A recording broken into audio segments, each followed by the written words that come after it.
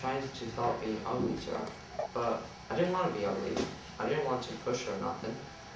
Okay, let's go back to Bob Ewell. Who was he talking to? He were talking and looking to Miss Mayella. Then you ran. I sure did. Why did you run? I was scared, sir. Why were you scared? If you were black like me, you would run too. Our scene is the last scene. Uh, leaves off when um, Scout and Jem got attacked by a mysterious man, and yeah, that's where it leaves off. Um, Atticus will be played by Jules. Scout will be played by Athena. Heck Tate will be played by Carl.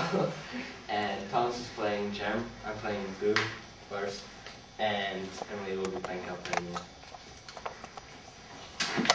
What is it? What happened? Boo! Jem! Quick, call Dr. Raymond. Tell him it's urgent. Scout? Where's Scout? I'm here. I'm fine. The man's gone, but he did something horrible to Jem. Atticus, is Jem dead? He's unconscious. It looks like his arm's broken. Scout all right? Yes. Monsieur Lemay getting Dr. Arnold's. Jem's not dead, is he? No, he passed it from the cane.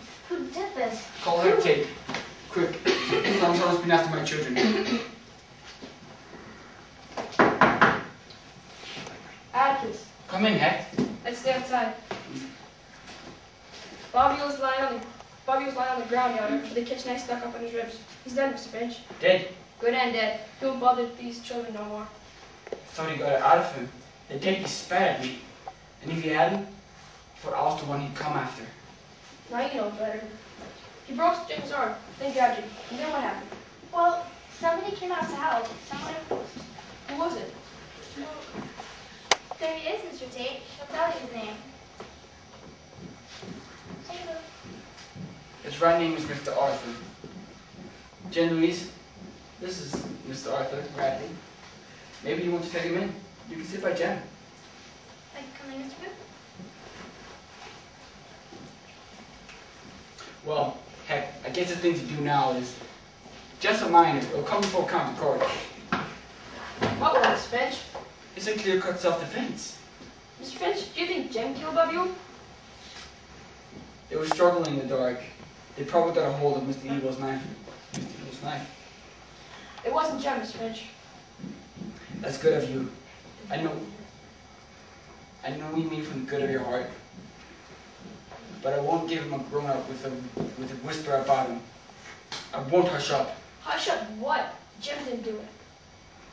Then who? I'll tell you. Bobby fell on his knife. He killed himself, Mr. Finch. It wasn't Jem. If if it wasn't Jem, Of course it wasn't. His arm was broken. but if it wasn't, then then it would have to be.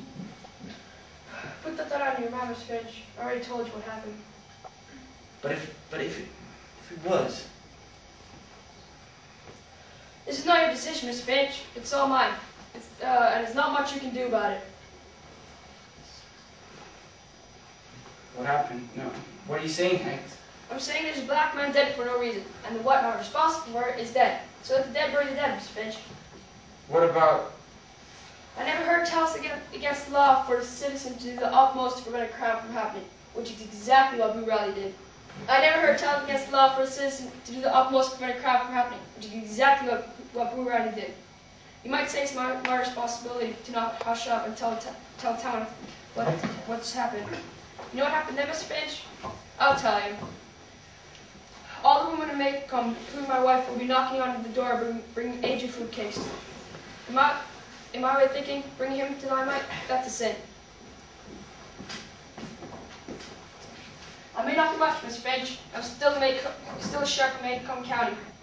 And I'm going to say this once, Mr. Finch. Bob Ewell fell on his knife. Good night, sir. Scout?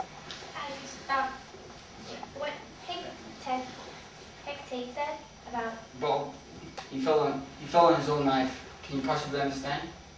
What heck Tate said about Rami? Jim Lee's. That's true. Will you take him Arthur, thank you for my children, Arthur.